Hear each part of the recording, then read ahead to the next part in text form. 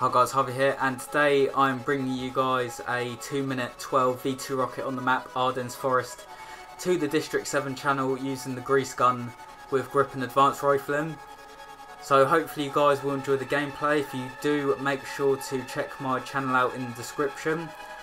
And I've got nothing to say really other than that, but hopefully you guys will enjoy. If you do, make sure to drop a like, subscribe if you're new, and I'll see you guys in a future video.